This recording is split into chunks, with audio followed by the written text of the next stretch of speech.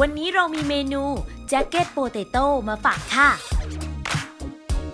นำอลูมิเนียมฟรอยล์มาห่อมันฝรั่งต้มสุก จากนั้นตัดส่วนบนของมันออก คว้านเอาเนื้อมันฝรั่งออกใส่ลงในภาชนะบดจนละเอียดเตรียมไว้ จากนั้นใส่มายองเนสตรามอลลี่ มายองเนสเกรดพรีเมียม ให้รสชาติมันกำลังดี เนื้อครีมข้นสีเหลืองนวลลงในมันฝรั่งบดปรุงรสด้วยเกลือป่นเสริมไอโอดีและพริกไทยป่น ใส่แฮมหั่นฝอย และเบคอนหั่นฝอย คนผสมให้เข้ากัน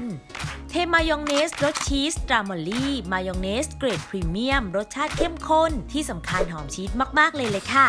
ลงในถุงบีบ เตรียมไว้นำส่วนผสมที่ได้ใส่ลงในเปลือกมันฝรั่งที่เตรียมไว้ หยอดหน้าด้วยมายองเนสชีสนำเข้าอบที่อุณหภูมิ 360 องศาฟาเรนไฮต์ประมาณ 5-10 นาที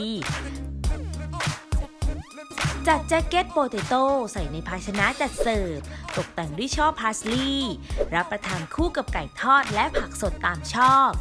พร้อมเสิร์ฟแล้วค่ะ กับเมนู jacket potato